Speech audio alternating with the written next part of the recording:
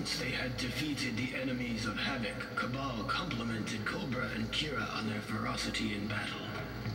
Their true test, however, was to face each other, to decide which of them was worthy of the new Black Dragon clan. Neither refused the challenge. Kobra fought with ferocity, but his lack of discipline allowed Kira to control the battle, easily manipulating Kobra into exposing himself to her attacks. She defeated him and proved her worth to Kabal, who gave her the honor of finding two more recruits to pit against each other in Mortal Kombat.